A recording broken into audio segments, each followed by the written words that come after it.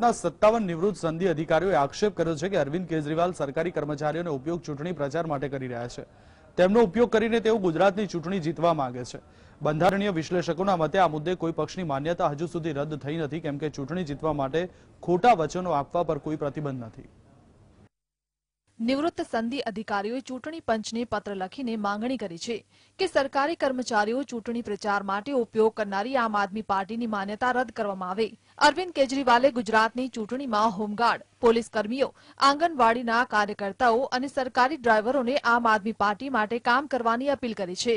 નિવૃત્ત સંધિ અધિકારીઓએ લખ્યું છે કે કોઈપણ રાજ્યમાં સિવિલ સર્વન્ટનું કામ સરકારી યોજનાઓને લોકો સુધી પહોંચાડવાનું હોય છે.